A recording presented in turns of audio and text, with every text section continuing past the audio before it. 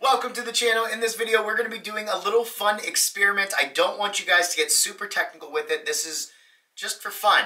Uh, my buddy Lou had the idea and I thought it was awesome. So what I'm going to do is I'm going to take a piece of three quarter cherry, just a scrap piece, make cuts with each one of these saws, cut that off, and then glue those together to see what that saw line looks like.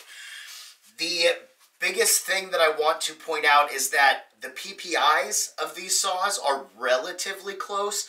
As we're going through this, I'll pop up the name of the saw and the PPI so you guys can see the differences there. There are also two saws here that are a hybrid. So one of them is a Japanese saw that's made for hardwood, but it can do rip cut and cross cut. It's a very high PPI, but I don't know what the PPI of it is. But I wanted to include it because I've been pretty impressed with this saw and I wanted to see how it performed, so you guys get to see it too. The other saw is the Blue Spruce Gent Saw is also a hybrid. So I'm not sure how it's going to do in the tests either, but I wanted to include it. So just keep those things in mind as we move forward. For the test, we are going to be using 3 quarters cherry.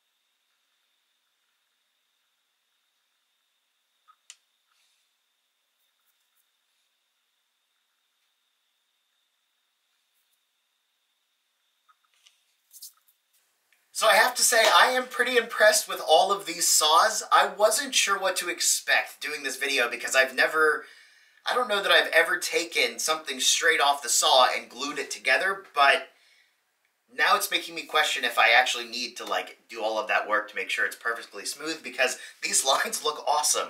There was only one saw where the set went to the sides and you could see that in the glue line where the teeth were hitting. Um, it was one of the two aggressive saws. But what I want to do for the results is let you guys put your answers down below because I think it would be fun. So pick your top three of which ones you thought performed the best, had the cleanest glue line, however you want to word it. Top three down below in the comments so people can go look there. Um, again, please don't get technical with this. We just wanted to have fun and, and see what happens. Lou, thank you for coming up with this idea because, again, it was a blast. If you guys have any questions, any comments, anything like that, feel free to let us know down below. I hope you enjoy and have a good day.